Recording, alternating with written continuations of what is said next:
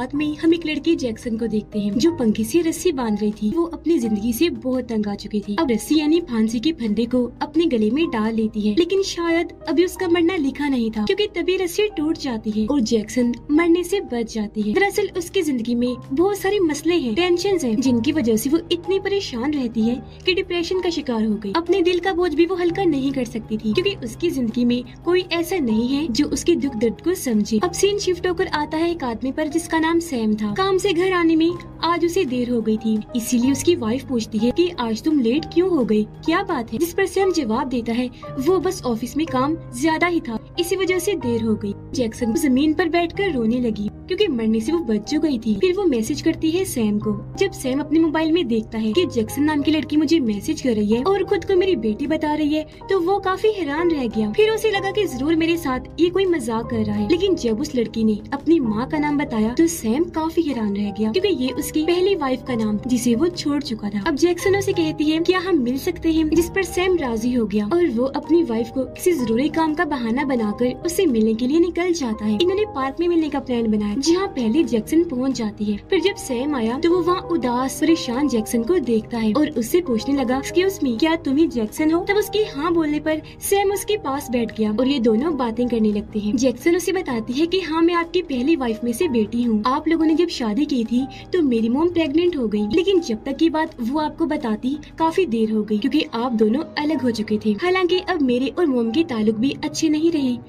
वो मुझे छोड़कर अलग रहती है। अब सैम उसकी बातें सुन तो रहा था, लेकिन इन बातों पर इतनी जल्दी यकीन करना मुश्किल था। उसे तो इस बात पर भी यकीन नहीं आ रहा था कि मेरी एक बेटी भी है। इन सारी बातों की वजह से सैम काफ़ी परेशान हो गया, क्योंकि ज़ाहिर है, अब उसने दूसरी शादी कर ली थी और शायद उसकी वाइफ जैक्सन को ना अपनाए। उसे अपनी बेटी की फ़िक्र भी हो रही थी, पर वो क्या करता? जैक्सन के लिए कोई फैसला भी नहीं ले सकता। अब वो उसे ये कहकर जाने लगा कि, ठीक है बेटा, अपना ख्याल रखना, हम फिर मिलेंगे। लेकिन जैसे वो जाने लगा, ये दोनों एक आदमी को आता हुआ देखते हैं, जिसने पेंट कोट पहना हुआ था और वो बड़ी तेज़ी से आगे बढ़ रहा था। वो आदमी एक बच्चे के पास गया और अचानक उसका बड़ा सा मुँह खुल जाता है। वो अपने बड़े से मुँह में बच्ची का सर रखता है और फिर ऐसे ही सारा उसे मुँह में लेकर निकल जाता है और उसका मुँह वापस बंद होकर अपनी असली हालत में आ गया। ये देखकर दोनों की होश उड़ गई और अब वो बड़े मुँह वाला अजीब आदमी इनकी तरफ़ बढ़ने लगा। पर ये दोनों काफ़ी डर गए। जल्दी से वहाँ से भागकर गाड़ी में बैठ जाते हैं और वापस अपने अपने घर आ गए। अब जैक्सन को अपनी आँखों पर यकीन ही नहीं आ रहा था कि मैंने एक अजीब बड़े मुँह वाले आदमी को देखा। इसीलिए वो इंटरनेट पर उसके बारे में सर्च करती है, लेकिन वहाँ भी उसे कोई जानकारी नहीं मिलती। अब तभी कोई उसका दरवाज़ा ज़ोर ज़ोर से पीटने लगा। अब पहले तो जैक्सन थोड़ा घबरा गई लेकिन फिर हिम्मत करके उसने दरवाज़ा खोल ही दिया, पर वहाँ पर तो कोई भी नहीं था। अब जब उसने दरवाज़ा बंद करके पीछे मुड़ के देखा तो वो बड़े मुँह वाला आदमी अंदर आ गया था। अपना बड़ा सा मुँह मुँह खोलकर उसकी तरफ़ बढ़ने लगता है जैक्सन को निगलने के लिए। पर वो एक रॉड लेकर उसके मुँह में मारती है और उसे साइड पर करके वहाँ से भाग जाती है और सीधा सैम के घर आ गई। घर में अंधेरा था। वो सैम से बात करने लगती है, कहती है कि अब वो हमारे पीछे पड़ गया है क्योंकि आज वो मेरे घर तक आ गया था। वो हमें भी निकल जाएगा, इसीलिए हमें जल्दी यहाँ से भागना होगा। चलिए मेरे साथ। पर सैम उसके साथ जाने से मना कर देता है। अब यहाँ उसकी वाइफ को लगा जैसे इन दोनों के बीच कुछ चल रहा है। पर जैक्सन उसे कहती है कि, आंटी जी, ये मेरे डैड हैं और मैं इनकी बेटी हूँ। अब उसकी बात पर सैम की वाइफ को भी यकीन नहीं आता, पर तभी उसे बाहर किसी की आहट महसूस होती है। उसने जब पर्दा हटाकर देखा तो वहाँ पार्क वाला आदमी था, जो उनके घर की तरफ़ ही बढ़ रहा था। उसे देखकर जैक्सन बताती है कि यही तो है वो बड़े मुँह वाला आदमी, जो अब हमारे पीछे है। तो हमें जल्दी यहाँ से निकलना होगा, पर वो दोनों ही नहीं मानते। इस वजह से जैक्सन को गुस्सा आ गया, और वो दोनों को चाकू दिखाकर धमकाने लगती है। इस वजह से सैम की वाइफ डर गई, और वो अपने हस्बैंड को जैक्सन के साथ जाने देती है, और वो अपने डैड को लेकर निकल गई। रास्ते में जैक्सन अपने डैड को बताती है कि हम मेरे एक दोस्त के घर जाएँगे, क्योंकि वो इस तरह के अजीब लोगों के बारे में काफ़ी कुछ जानता है।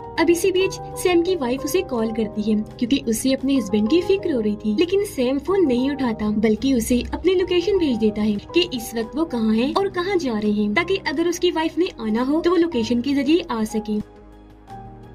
थोड़ी ही देर में जैक्सन और सैम उसके दोस्त के घर पहुँच गए। लेकिन जब भी अंदर गए तो वहाँ तो पार्टी चल रही थी। सारे ही नशे में दूध थे। यहाँ तक कि उसका दोस्त भी। लेकिन उसे थोड़ी बहुत होश थी। जैक्सन अपने दोस्त को उस बड़े मुँह वाले आदमी के बारे में बताती है और उसका नाम रखती है चौम्पी अपने साथ बाहर ले आए और उसे गाड़ी में बिठाकर अपने साथ ले जाने लगते हैं। वो इनसे पूछता है कि आखिर आप लोग मुझसे क्या चाहते हो? इस पर जैक्सन जवाब देती है कि तुम हमारे लिए एक जादुई दायरा बनाओ ताकि उसे पार करके चौंपी हम तक ना आ सके और हमें कोई भी नुकसान ना पहुँचाए। अब इसी बीच इन्हें वही पिंक जैकेट वाली बच्ची दिखाई देती है, जिसे पार्क में चौंपी निकल गया था। जैक्सन गाड़ी रोककर उस बच्ची के पास जाती है, जो काफ़ी घबराई हुई थी। जैक्सन उससे पूछती है कि तुम्हें क्या हुआ और उस दिन तुम्हारे साथ उस आदमी ने क्या किया था? तुम उसके अंदर से कैसे निकल कर बाहर आ गई? पर वो लड़की उसे ठीक से कोई जवाब नहीं देती। अब तभी जैक्सन और सैम एक बार फिर चौंपी को अपनी तरफ़ आता हुआ देखते हैं। वो काफ़ी डर गए। इस बार वो बच्ची को भी अपने साथ गाड़ी में बिठा कर वहाँ ऐसी भाग जाते हैं। वे लोग दोबारा ऐसी जैक्सन की दोस्त के घर आ गए। अंदर जब भी आए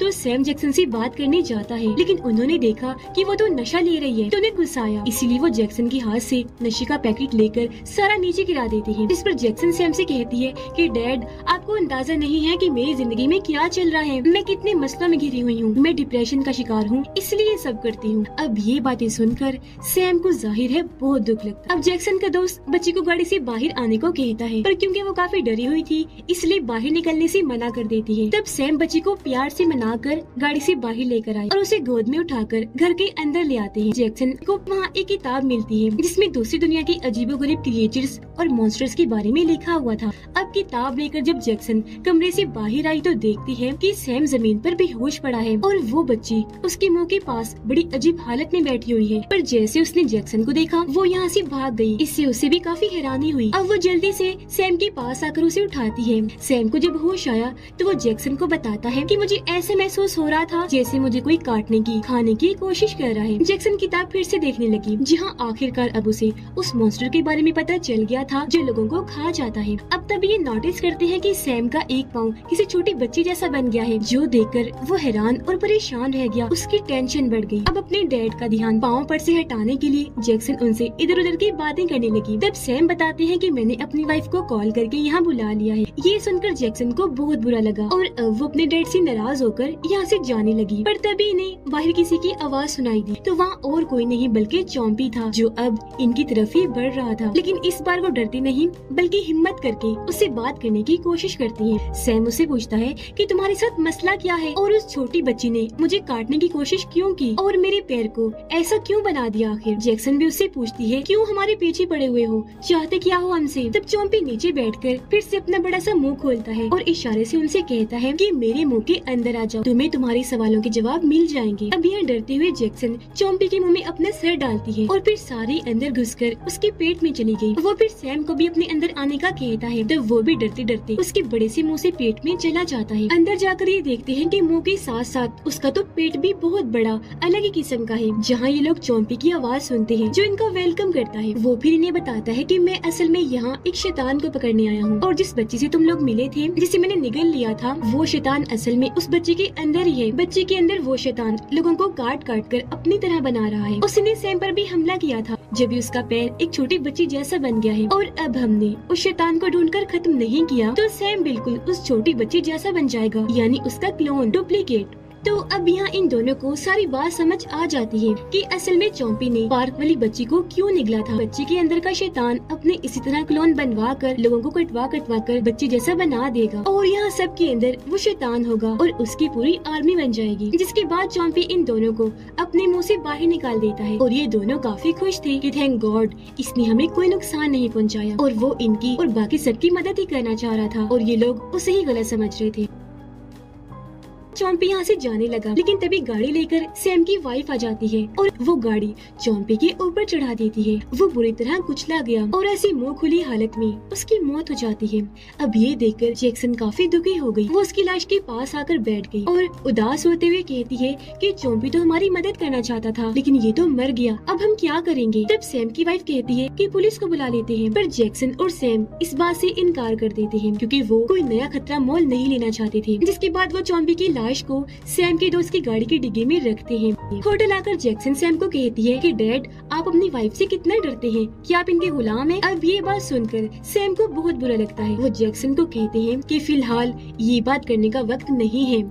हमें उस बच्ची को ढूंढकर प्यार से उसे बात करनी चाहिए। उसे समझाना चाहिए कि वो कितना गलत कर रही है। ऐसे लोगों को काट काट कर और अपने क्लोन्स बनाकर। ये आइडिया जैक्सन को पसंद नहीं आता। कहती है डैड आपको क्या लगता है? वो प्यार से हमारी बात मानेगी? उसका जो हल है हमें वही करना है। बच्ची को मारना है ताकि वो शैतान भी खत्म हो जाए। अब वो बच्ची एक लड़की के पास गई और उसे बहाने से मदद मांगती है ताकि उसे भी काट कर अपने जैसा बना ले। और अब ये तीनों गाड़ी में बैठकर निकल गए बच्चे से बात करने के लिए। रास्ते में सैम कहते हैं कि मैं अपने प्यार की वजह से ये महसूस कर सकता हूँ कि वो बच्ची यहीं आस पास ही है। अब इसी बीच इन्हें वो बच्चे दिख जाती है, जिसके साथ वहाँ उसे जैसी दो और बच्चियाँ भी थी, जो दरअसल उसकी क्लोन्स थी। ये देखकर जैक्सन गाड़ी से उतरकर बाहर आई, जिसे देखकर तीनों बच्चियाँ यहाँ से भागने लगती हैं। तब जैक्सन सैम की वाइफ की मदद से उनमें से एक बच्ची को पकड़ लेती है और उसे डिग्गी में डालने की कोशिश करने लगी। पर उन्हें ऐसा करते हुए एक आदमी देख लेता है। वो सोचता है कि ये लोग बच्चे को अगवा कर रहे हैं। इसीलिए वो अपना मोबाइल निकाल कर पुलिस को कॉल करने लगता है। पर इससे पहले वो ऐसा करता। जैक्सन उस पर हमला कर देती है। उस पर झपट पड़ी और काफ़ी मारती है, जिस वजह से आदमी को यहाँ से भागना पड़ता है। और ये तीनों भी गाड़ी में बैठकर यहाँ से निकल जाते हैं। डिग्गी में इन्होंने बच्चे को बंद किया हुआ था। खैर, अब ये लोग जैक्सन के घर आ गए और बच्ची को डिग्गी से बाहर निकाल कर बड़ी मुश्किल से घर के अंदर लेकर आते हैं और उसे कुर्सी से बाँध दिया जाता है। अब जैक्सन अपने दोस्त को कॉल मिलाती है। कहती है कि हमने तुम्हारे घर में चौम्पी की लाश को छोड़ा था। इसे जल्दी से लेकर यहाँ आ जाओ। थोड़ी देर बाद जब जैक्सन घर से बाहर देखती है तो वहाँ बच्चे के बहुत सारे क्लोन्स थे, जो इनके घर की तरफ़ ही बढ़ रहे थे। यहाँ जैक्सन उन सबको कहती है कि हमें इस बच्चे को टॉर्चर करना चाहिए। क्योंकि हो सकता है, जब इसे टॉर्चर किया जाए तो बाकी क्लोन्स भी तकलीफ़ महसूस करें और यहाँ से चले जाए। पर सैम इसके लिए मना कर देता है। बाहर वो सारे क्लोन्स घर के पास आ गए थे। वो अंदर आने वाली हर खिड़की दरवाजों को खोलकर अंदर घुस जाते हैं। तभी बाहर जैक्सन का दोस्त भी आ गया था। लेकिन वो गाड़ी से बाहर नहीं आ सकता था, क्योंकि उसके चारों तरफ़ भी बच्ची के क्लोन्स थे। अब जैक्सन अपने दोस्त को कॉल करती है। वो पूछता है कि, अब मुझे क्या करना होगा? वो जवाब देती है कि, तुम हमारे लिए जादुई दायरा बनाओ, ताकि ये क्लोन्स हमें नुकसान न पहुँचा सके। उसका दोस्त कहता है कि, मुझे कोई जादुई दायरा बनाने नहीं आता। मैं कोई जादूगर थोड़ी ना हूँ। अंदर सैम देखता है कि कुछ क्लोन्स ने उसकी वाइफ पर हमला करके उसे पकड़ा हुआ है और लिटा कर वो उसके ऊपर बैठी है। सैम भी उन क्लोन से लड़ने लगा। उन्हें मार कर वहाँ से भगाता है और अपनी वाइफ को बचा लेता है। अब जैक्सन घर से बाहर आई। जो जो क्लोन्स उसका रास्ता रोक रही थी। वो धक्का मारकर उन्हें साइड में करती है और जल्दी से अपने दोस्त को गाड़ी की डिग्गी खोलने का कहती है। उसने जैसे गाड़ी की डिग्गी खोली, जैक्सन एक क्लोन को पकड़कर उसे चौंपी के मुँह में डाल देती है। लेकिन तभी एक दूसरी क्लोन जैक्सन को पकड़ लेती है और उसे भी चौंपी के मुँह में फेंक देती है। सैम और उसकी वाइफ एक जगह पर बैठे हुए थे। देखता है कि उसकी वाइफ का हाथ भी छोटी बच्ची जैसा बन गया है, जिस वजह से दोनों ही काफ़ी परेशान हो जाते हैं। ऊपर से क्लोन उनके कमरे का दरवाज़ा ज़ोर ज़ोर से पीट रहे थे। अब जब जैक्सन जॉम्बी के पेट में गई तो वो वहाँ असली बच्ची से बात करती है। बच्ची रोते हुए उसे बताती है कि मैं किसी को भी नुकसान पहुँचाना नहीं चाहती, लेकिन जो मेरे अंदर शैतान है, वो ये सबको काट काट कर मेरे जैसा बनाता जा रहा है। उसने मेरे ज़रिए मेरे मोम डैड को काटा, फिर और भी कई सारे लोगों को, जो सबके सब मेरे जैसे बन गए हैं। इससे पहले वो यहाँ मेरे ऊपर हावी हो जाए, मैं अपना कंट्रोल खोकर तुम्हें नुकसान पहुँचाऊँ। प्लीज़ तुम यहाँ से चले जाओ। पर वो जाने से मना कर देती है। उसे बच्चे पर तरस आ रहा था तो उसकी जान बचाने के लिए वो रिस्क लेने का ही फैसला करती है और उसे कहती है कि तुम उस शैतान को मेरे अंदर भेज दो। मैं उस शैतान से लड़ने की पूरी कोशिश करूँगी, जो कहकर वो बच्ची के गले से लग जाती है और उसके अंदर का शैतान निकल कर अब जैक्सन के अंदर चला जाता है। ऐसा होते ही वो सारे क्लोन्स जो बच्चे जैसे दिख रहे थे, अब वो जैक्सन जैसे दिखने लगते हैं। जैक्सन अपने होश में थी, वो शैतान से लड़ती है और उन सभी क्लोन्स को चौंपी के पेट में आने पर मजबूर करती है। और अब जैसे जैसे वो सारे क्लोन्स चौंपी के मुँह में घुसकर उसके पेट में आते हैं, वो सारे अपने अपने असली रूप में वापिस आ जाते हैं। साथ ही अंदर ही जैक्सन शैतान से भी लड़ रही थी। अब सैम भी उसके पेट में आ गया और अपनी बेटी जैक्सन की मदद करता है उस शैतान से लड़ने के लिए। वो दोनों अब मिलकर उस शैतान को बड़ी ताकत लगाकर जैक्सन के अंदर से बाहर निकाल देते हैं। और वो यहाँ से इस दुनिया को ही छोड़कर निकल जाता है। पर जाते जाते उसने बाहर जाने का रास्ता बंद कर दिया था। इसीलिए अब ये दोनों बाप बेटी यहाँ से बाहर नहीं निकल सकते थे। पर तभी बाहर से सैम की वाइफ और जैक्सन का दोस्त एक रस्सी की मदद से रास्ता बनाते हैं और इन दोनों को सही सलामत बाहर निकाल लेते हैं। एक दूसरे से मिलकर ये सारे लोग बहुत खुश हो गई थी। और वो बच्ची, जिसके अंदर से अब शैतान हमेशा के लिए निकल चुका था, वो भी अपने मोम डैड को वापस असली रूप में देखकर काफ़ी खुश हो जाती जाती है। यहाँ सैम जैक्सन को कहता है, मेरी बेटी, मुझे माफ़ करना। इतने साल में तुमसे दूर रहा और तुम्हारे बारे में पता भी नहीं लगवा पाया। तुम्हारे डिप्रेशन की वजह मैं हूँ। मेरी बच्ची मुझे माफ़ कर दो। आइंदा के बाद तुम्हारा ख्याल मैं ही रखूँगा। ये कहकर वो जज्बाती हो गई और जैक्सन को गले से लगा लेते हैं। अपने बाप का ये प्यार देखकर वो भी रो देती है। और यहाँ उसकी वाइफ ने भी जैक्सन को अपना लिया था, अपनी बेटी के तौर पर। और इस तरह उनकी फैमिली पूरी हो गई थी इस फ़िल्म की भी। यहीं पर हैप्पी एंडिंग हो जाती है।